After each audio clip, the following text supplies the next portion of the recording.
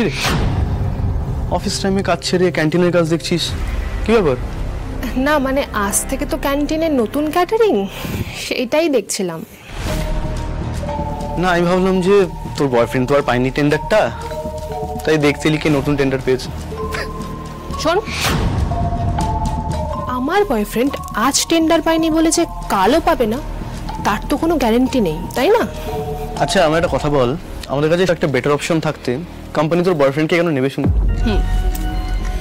কে better option সেটা সময় আসলেই দেখা যাবে। দেখা যাক লেটস সি আমার বয়ফ্রেন্ডকে টেন্ডার না দিয়ে তোমাকে দেওয়া হলো তো? আমিও দেখছি তুমি এখানে টেকো কি করে। এই অফিসে আজই তোমার প্রথম দিন আর শেষ দিন।